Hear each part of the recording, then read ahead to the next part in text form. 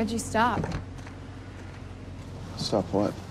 You started to describe how Wayne killed that girl, and he got halfway through, and then you stopped.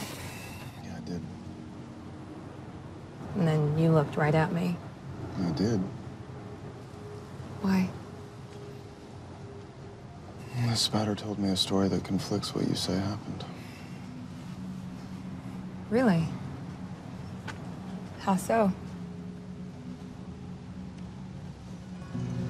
You get this? It's a little something I got for talking back to Wayne. He got angry and slashed at me. Bull. Do you know something that I don't? Wayne didn't kill that woman. He was too busy with the male. It was someone smaller. Someone with a different knife. Who was inexperienced.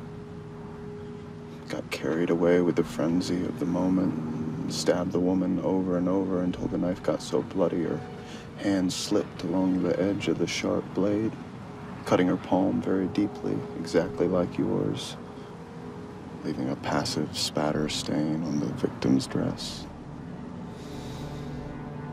Everything you've said is a lie. That's my story.